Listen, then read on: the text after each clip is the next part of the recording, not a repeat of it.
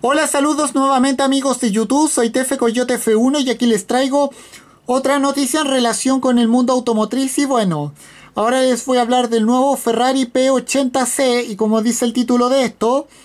homenaje único a los prototipos de los 60 del Cabalino. Bueno,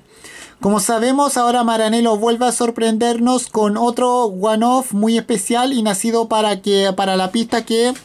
sobre la base de un 488 GT3 eh, rinde tributo a los autos de competición de Ferrari que corrieron en las 24 horas de Le Mans y en la desaparecida Canam y ahora vamos a hablar de ello. Bueno,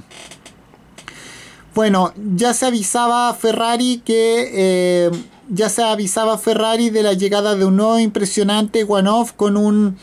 breve teaser y por fin tenemos aquí, bueno, al protagonista. Bueno, su nombre es Ferrari P80C y es el y es el particular encargo de un cliente de la marca italiana de los Sport prototipo del cabalino rampante de los años 60, cuando la marca italiana creó ejemplares como el 330 P3 y el P4 el 350 Canam, el Dino 206 SP o el 250 eh, LM y bueno. Eh, este modelo tiene mucho de aquellos autos pero en una versión moderna. De hecho se trata de un modelo nacido exclusivamente para la pista utilizando el actual eh, Ferrari 488 GT3 como base. los diseñadores e ingenieros de Ferrari han creado un auto con un afilado y aerodinámico frontal al que sigue un inclinado parabrisas que crea una elegante silueta donde una extraña toma de aire, bueno, eh, tras, detrás de las ventanillas es quizás el rasgo más diferenciador y bueno. Atrás, sin embargo, eh, nos encontramos con una saga realmente agresiva donde un complejísimo difusor trasero que sobresale la carrocería toma protagonismo, acompañado de, bueno, de un spoiler y un gran alerón trasero de diseño limpio, justo encima y entre la cabina y la zona del motor, otro pequeño alerón.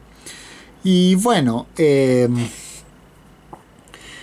eh, de el hecho de que bajo esta nueva carrocería se esconda de un se esconda a la base de un eh, eh, Ferrari 488 GT3 hace que este modelo sea aún más ancho que la versión de calle, lo que le da aún más eh, presencia. No hay detalles sobre, sobre sus prestaciones, aunque sigue viendo su complejo trabajo aerodinámico, aerodinámico un desarrollo que se, está, se desde 2015